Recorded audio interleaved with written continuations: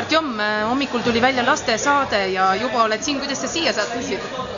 ma ei tea, tuli meile ja siis kutsuti ja siis mõtlesin, et eh, why not, hotelli avamine ja õhtu on vaba, et miks mitte. ja kes su kaaslane täna õhtul on?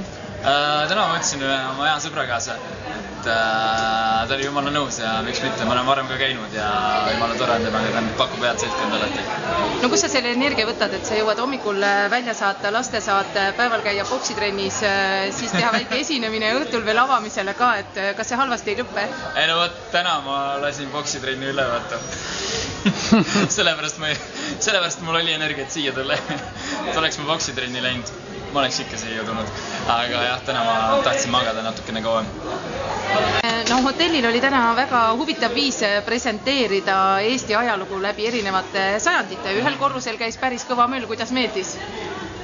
ma neid magamiskohti nagu isiklikult ei testinud, neid voodeid, aga nagu niimoodi vaadates tundus päris mugav, nii et, et järgmine kord, kui on kui saan näiteks koju või kaotad võtmed ära, siis ma tulen kindlasti siia hotelli magama. aga jaa, vaadake täpsemalt siis Kroonika videos, et eh, kui mugav ja mõnus siin olla on. ahah, lähen sisse. nii.